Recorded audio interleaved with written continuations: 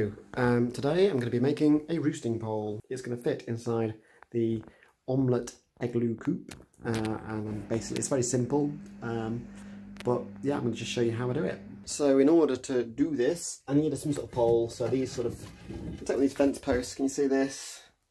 Uh, normally used for sort of staking to trees, it's called a round tree stake. I'm going to basically cut this to size and I'm going to take, of cut that in so that it can fit uh, into the Eglu uh, run. And let's, I'll show you one that I've already done. As you can see, it's in there and they like they love to roost on it.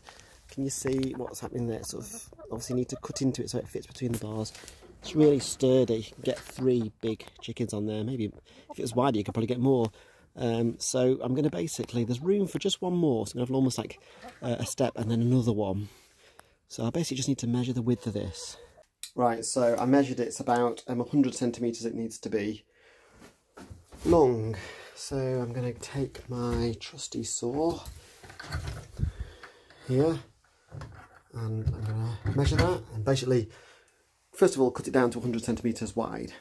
It's actually about here. I did measure, I'm not just guessing because I just need to start sawing. Take this label off, it's in the way. Okay, here we go.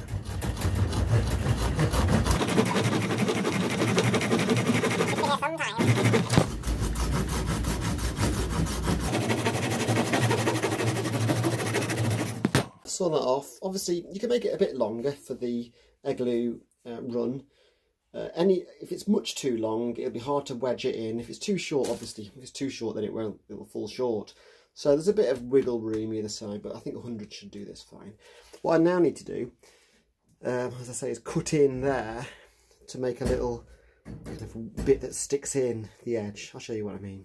So as you can see, hopefully, cut in there, and now I'm just sort of cutting down to meet it here. Right, so that's one. So that's one side done. Okay, just need to work on the other side now. Okay, it's been done at both sides now. You know, it's pretty rudimentary. Nothing too pretty about that, but it's functional. It's functional. So I'm going to put it in with the other one now. Oh, yeah, they've used the, the lower one, but are they going to use the top one? Look, Fern, she's looking up. She's having a look. Are you going to use the new one? It's shiny, there's no poo or mud on it. Go on, make the jump, the leap of faith. You can do it. Yes. And one of the reasons I did this is because they really like roosting. And uh, obviously in the winter, when the sun comes up, they can sit up there, get a bit of sun, and do a bit of preening without being on the damp, soggy ground. So hopefully it's going to be a success.